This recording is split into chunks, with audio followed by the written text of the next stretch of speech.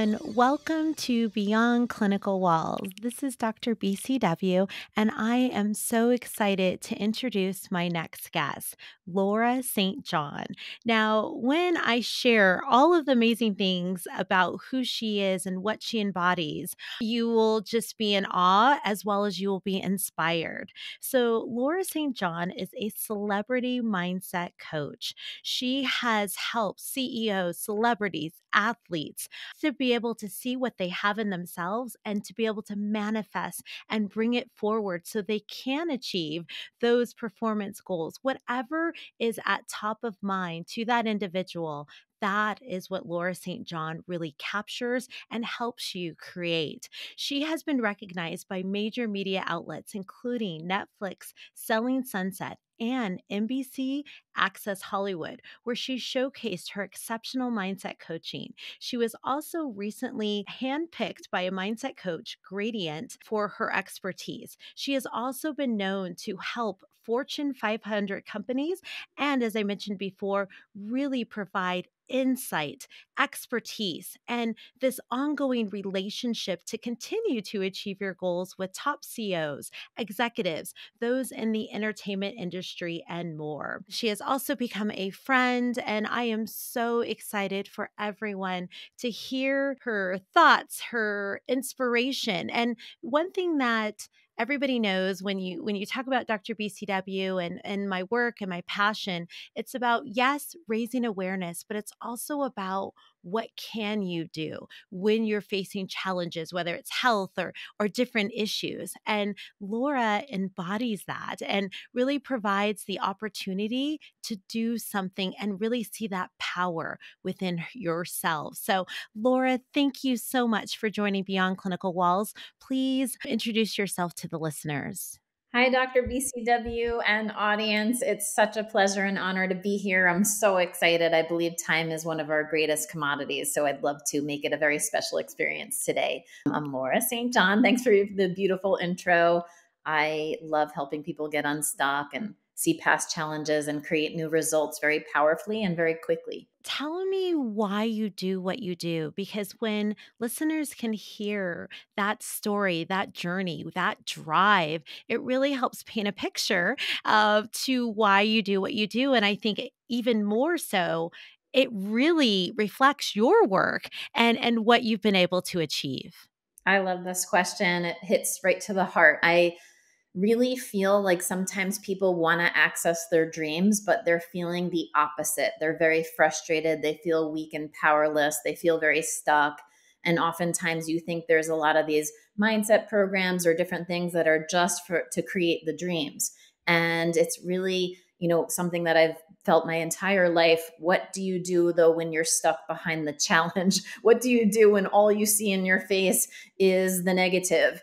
And i knew that i could always help see like see people through to the other side. I've been experiencing this my whole life to my earliest memories. My mom was given 2 years to live when i was 6 years old and she's alive today. And you know just having experience was where you know you're put behind an extreme wall it feels like and you feel like things are crumbling yet to hold a belief inside your heart that that might not be in alignment so, you know, I've been doing it my whole life when I really reflect back, the ability to see this potential intuitively, but I've made it a step by step process. My earliest years, I would say my why was driven a lot by my mom's experience and seeing her get to the other side and enjoy her grandkids today and knowing that wow a lot of people experience this challenges maybe not like that but in their own ways in their own paths and i just kept designing ways that you can get unstuck and unlock that next step know, when we talk about getting unstuck, that can mean so many different things for different people. And one thing that I really love that you do, you help people identify what is the root? What is the the issue that's really causing you to be stuck? Is it a perspective? Is it really a, a true barrier or challenge, whether physical, mental, all of those areas? Because you need to uncouple that in order to address it. And, you know, when you talk about about your journey, your story with your mom, and even what you manifest to decide what you want it to do, I would love for the listeners, you know, to hear that story. When I think about where you came from, when you had mentioned being in like a one bedroom apartment and and all of those things, I would love to hear that story because, you know, sometimes we hear people talk about things, but have they really been able to achieve it? And you have been able to do that and continue to continue that work. Yeah, it's amazing because I think that you have to be a testament to what you teach. I think I'm a student and a teacher of my own work through and through. And although I, you know, think back to my earliest childhood experiences, there's always a lot of contributing factors that lead you to where you are today. So one of the contributing factors is, you know, when was I personally feeling stuck in my own life situations or where were other family members stuck? So I've always been able to see like, yes, living in a Denver apartment, knowing in my life like I wanted to live at the beach, you know, how how am I going to take my three kids who are stuffed in one bedroom and eventually live this magnificent life in Malibu, California where I am now? And you start to understand that again, what might be your physical surrounding doesn't have to be your future. And you know sometimes how do you create that step by step so you see that this might not be in line with who you want to become? A lot of times people get stuck in you know just looking at their current reality. And i would always just look outside my apartment and be like let me pop that pine tree into a palm tree. I really believe, you know, we're going to live this fantastic like life on vacay, I called it, where you don't have to basically leave your life to go on vacation. That I want to wake up that relaxed, calm, neutral, like happy Laura.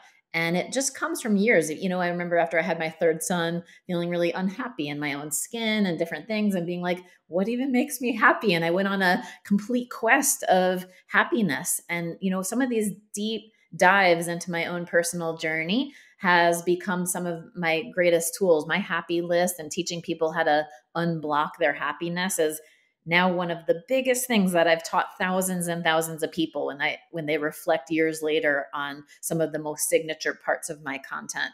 But you know, my niece years ago, how I became a mindset coach is my niece Livvy Dunne, who's now the number one NCAA female paid athlete at the time of this recording. She's just a superstar we she was stuck in her gymnastics. And i knew some of the personal experiences like i just shared with you that i was going through myself and kind of uncovering and creating my own tools for me to uncover to the next level. I could see how she was getting stuck in her gymnastics. And her mom who's my sister kat was like you know start talking to aunt laura. She's into all this mindset manifesting stuff. And i had just been developing a lot of these pieces for myself so I started coaching her every night, Sunday through Thursday, on her gymnastics. And we created what we called a bigger than Olympic dream because she was on her way to 2020 Olympics at that time as one of the youngest junior elite gymnasts.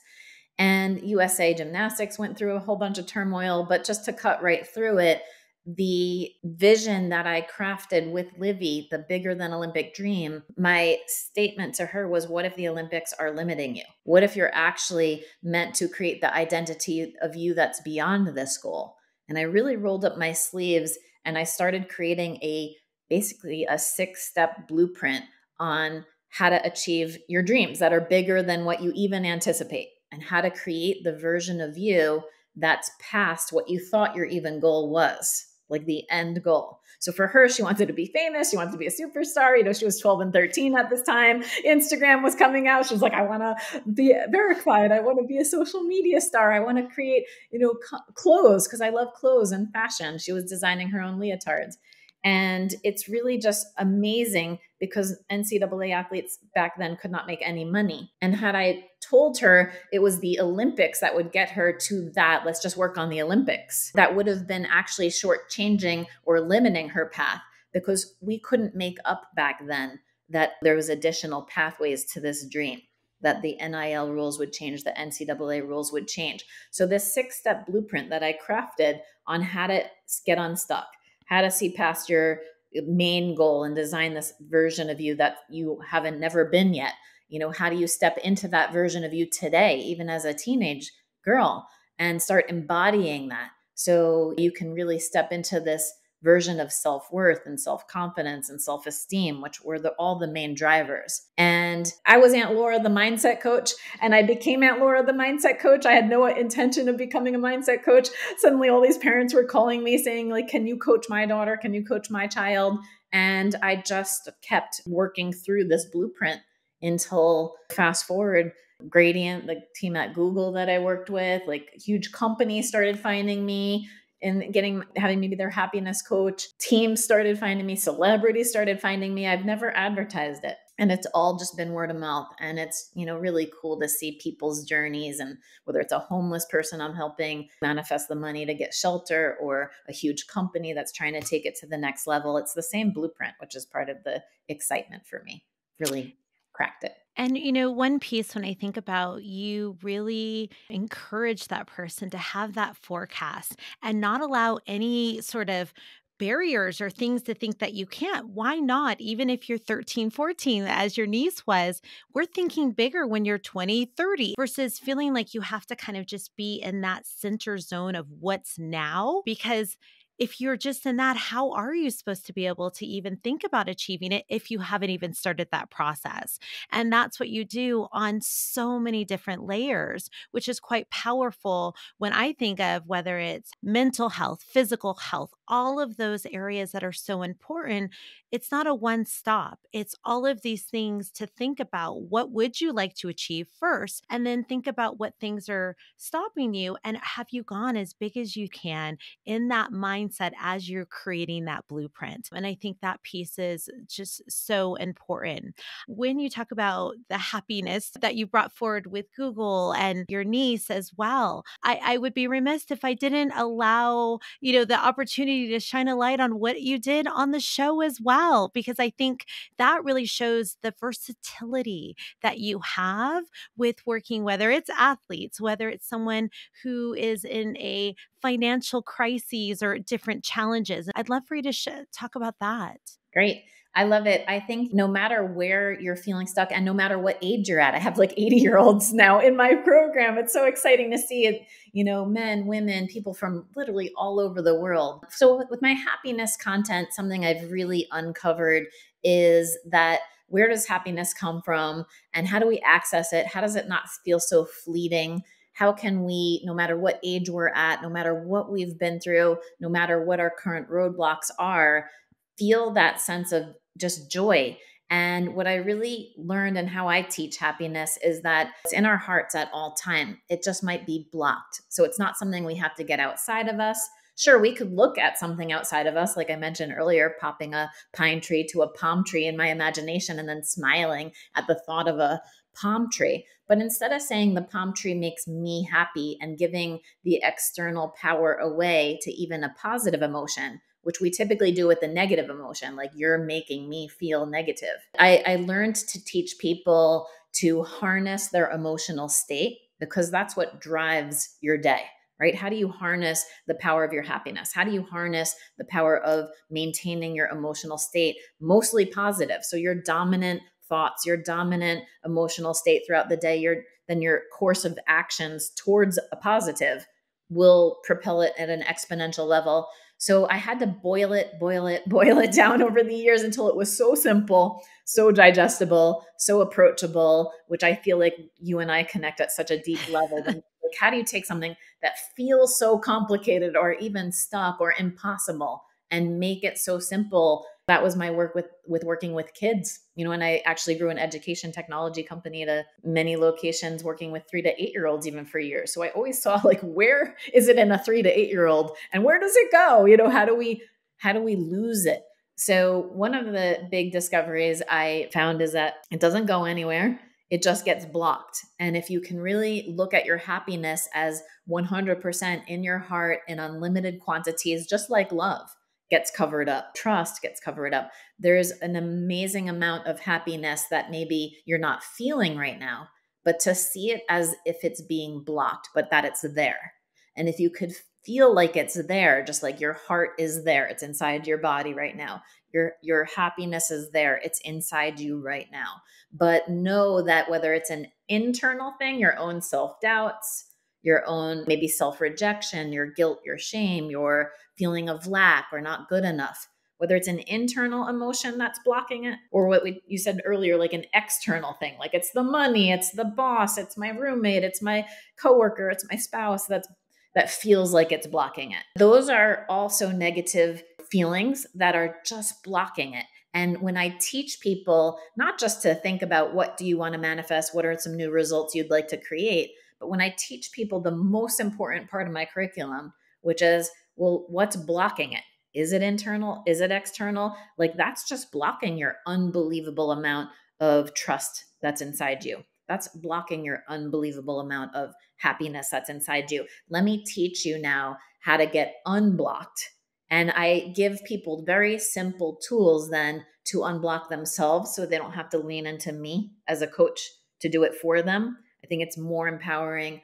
And I've seen this over the years working with young, young kids to always give people the tools to do it themselves. And I think that's so empowering because if you're feeling powerless, what you really want to feel is power, you know, in yourself. When you're feeling doubt, what you really want to feel is trust in yourself. What you when you're feeling unhappy, you want to feel happy. And so I do my signature flip it. I have like all these little tools of how to flip the negative to the positive and re-access that happy state that goes into this calm neutral flow and then get into these higher level emotions of confidence and trust and love and all the other higher levels.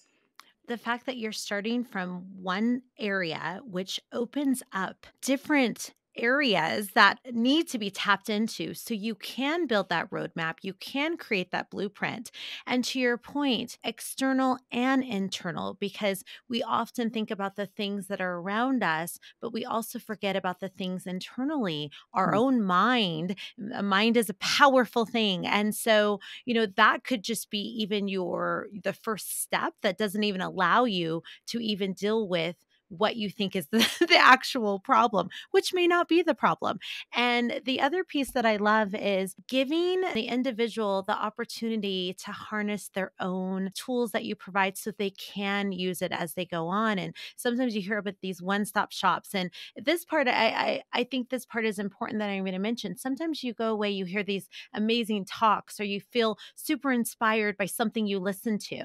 And then there's this feeling of, well, what do I do with it? First of all, it's hard sometimes what to do with it because if we haven't done the work within our internal or external or both, we can't harness that information. And so, by you creating this toolkit, by identifying all those areas, then allowing someone to have that gift of an internal, external tool set to be able to move forward because we're always evolving. And as we evolve, we're creating that forecast to have something go along with you is just fantastic. I, I love that piece. The other thing that I wanted to talk about was can you share with the listeners one challenge or difficult thing that you've encountered that you have really, I know we, we talked about the, the history from before, but just recently, anything that comes to mind that you were really able to in that moment kind of bring forward your toolkit within yourself?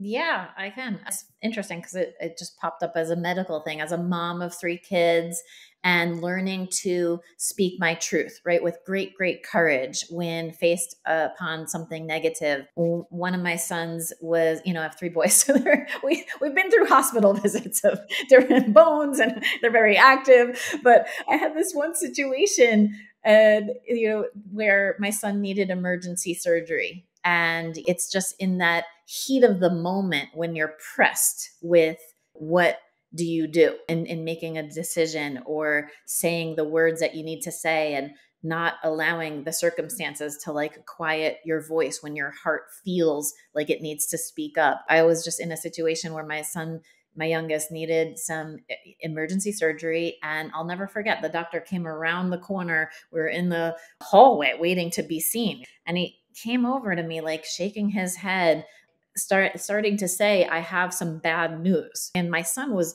literally sitting there you know wide-eyed because you know he's nervous already he was in extreme pain and i immediately did my nip zip tool which is to nip the negative momentum as it's coming at you and like to to stop its momentum in its track so you can shift the energy of it immediately and then not be engaged in the fear of it. Because very much as a parent, I could be like, oh my goodness, tell me what's going on, and imagine the worst case scenario, which is where our brains typically want to take us.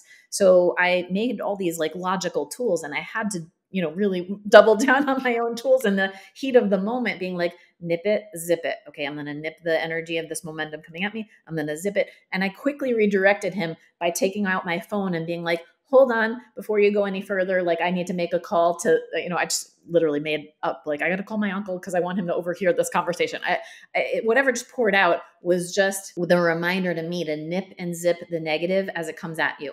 And it's one of the first lessons i teach in my blueprint. How do you stop the negative momentum when it's coming at you? Sometimes it's bubbling up inside you. That's another tool but in this case it's coming at you.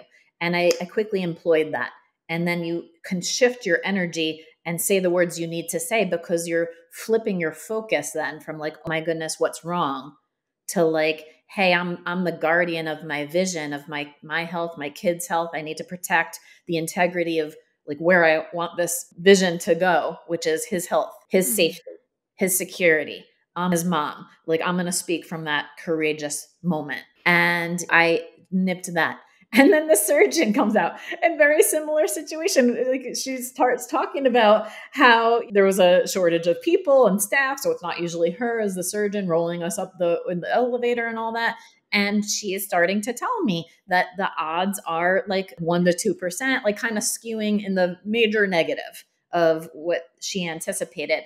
And same thing i was like i got to speak my truth with courage. I just could feel my tools I, I after you nip it and zip it i teach people how to flip it. How do you engage in the outcome that you actually desire? Not avoid what you don't want which is where most people get stuck scared and avoiding what they don't want and then taking action. So i did my flip it method where on that elevator ride up i'm like laura st john flip it. What do i clearly desire? Not what do i not want right? The can not the can't. And i felt the flip that I call it flip it on the fly. When you learn my flip it method, it's life changing. It, it's what was, you know, featured on the Netflix show where how do you stop engaging and giving your keys of your emotional power again away to what's in front of you?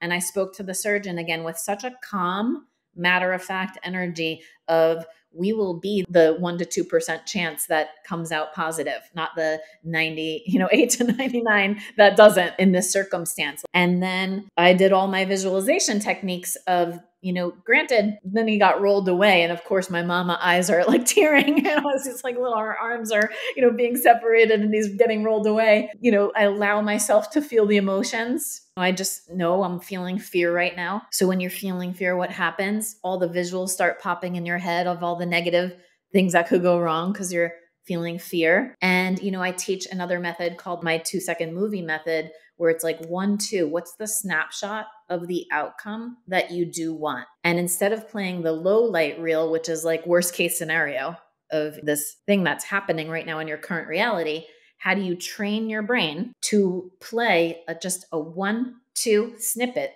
of the outcome you desire. So, although tears were rolling down my eyes and I felt my courage and I felt my fear, I then went to the parent waiting room with my husband, holding hands, and I just kept imagining a little two second movie of the surgeon coming out saying, You're not going to believe this. It all came out just great. And then I also played a two second movie of my sons decorating the Christmas tree. And it happened in this surgery was happening Thanksgiving weekend. And I just kept picturing, we had just gotten our tree the day before, and I just kept picturing all three of them, you know, just graciously like hanging the ornaments on the tree and feeling such joy in my heart that I could redirect my imagination to the outcome that was even not happening in this moment. That was not even just the surgeon coming out, but maybe a, a month from now looking back. And that's one of my specialties because I saw my mom go through that when she had cancer, holding a space for our family of a positive outcome, how positive that felt to my heart.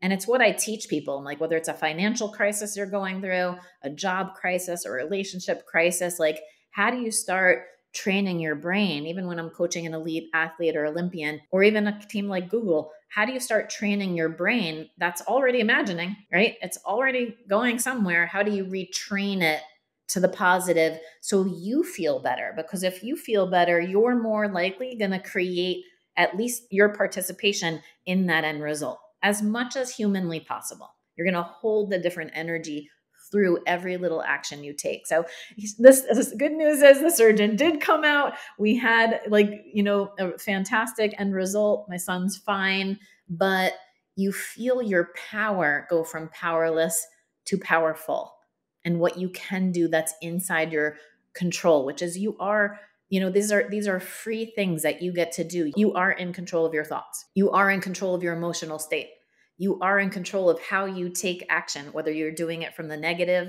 or avoidance, or you're doing it from the positive.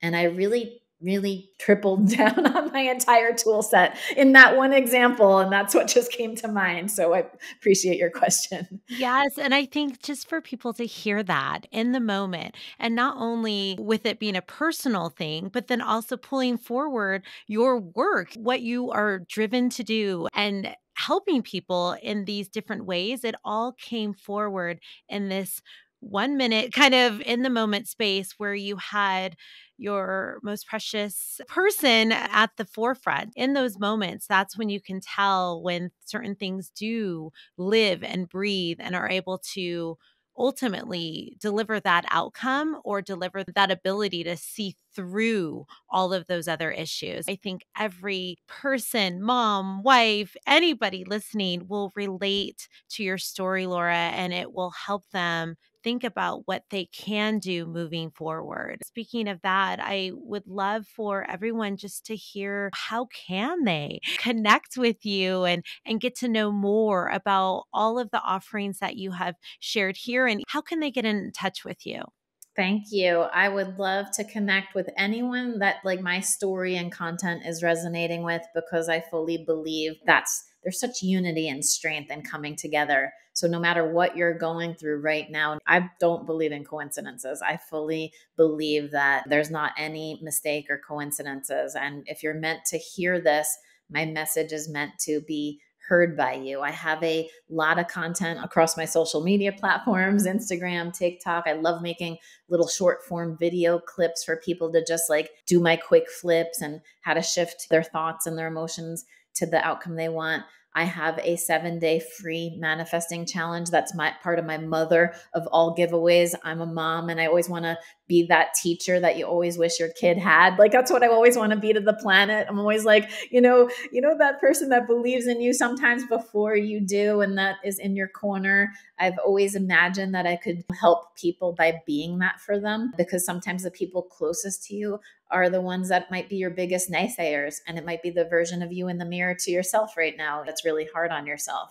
So I love being that person for people until my voice is their voice in their head believing in themselves so that i do a lot of free content and i made that part of my mother of all giveaways for mother's day last year. I do a big scholarship program every mother's day and then i'm like you know what? I'm just going to take this intro to manifesting course that i built right after i was on netflix. It was right before google had found me. I was in a spiral up in my own career and i was like what would be my thing that i want to capture right now and my energy that i was in? And I, I filmed that amazing intro course. So that's accessible now to everybody. They could take it and retake it over and over again because they'll learn a lot of the intro tools to some of these pieces of my blueprint that I think can really help people get unstuck. If I then resonate with you as your coach, I invite you to continue on and do a six week private group coaching experience. It takes my private one on one coaching, that six week blueprint, and it of my toolkits and it brings it into a very deeper dive where you get to work with me twice a week on zooms and a collective group of amazing people around the planet. I call them my dream team. And we work together every week. We do a lesson on monday. That's the lesson of the week that they get to just practice on. And we have live q and a's so people can come to me on zoom or post a question about like hey laura but this is exactly where i'm stuck. Like what do you suggest? And i can offer people guidance. So when people are ready to really either skip over the seven day and jump right into the group coaching to me that's one of my favorite things i do every single week is engage in that six week experience with new people that are coming in and then from there people are eligible to join in on my mindset school which is my monthly program but it's a very simple way in it's like start with the free jump into the six week you know, just see your world change. There's different ones on love, relationships, and health and happiness. There's ones on career and abundance and purpose, or just building your dream life. So you're really going to find the content that's right for you. But I can't wait to meet people. And I and I hope people please check her out on Instagram, TikTok. She puts great videos out there, little snippets that you I like to say you can just take it into your heart, your pocket, your mind in those moments and they're just fantastic. So please check those out. And I also want to highlight everybody learns or really takes in information differently. And I love the fact that someone can actually even go on site and be able to take in the experience. That's true. So I do in-person retreats. I everything's accessible on my main website, which is Strong Confident Living. So my company Strong Confident Living strengthen yourself and build your confidence and make it a lifestyle, make it who you are. But I, yeah, between the content, the digital content, the online courses, and private group coaching, that is all online. I do offer one or two day experiences around the planet. I'm actually traveling to Europe soon to do one there, but usually in, you know, at my place here in Malibu or in California, but I've popped up in different places in the in, all over the world. So keep in touch too if you're interested to meet me in person. Excellent. Well, it was a true pleasure just to have you join Beyond Clinical Walls. Thank you for your insight. Thank you for the heartfelt ideas, inspiration, all of those things. It was very inspiring and also very solution oriented, where you could take those nuggets that you dropped throughout this interview and really be able to apply it to your life right in that moment. So, thank you for joining me. I always end the show with a level of gratitude. So, Thank you to everyone who took the time to listen. This is Dr. BCW with Beyond Clinical Walls. Thank you. Don't forget to subscribe and turn on notifications so you don't miss my next upload. And if you found this information helpful, please hit the thumbs up. It really helps the channel. As always, thanks for watching and thank you for your support.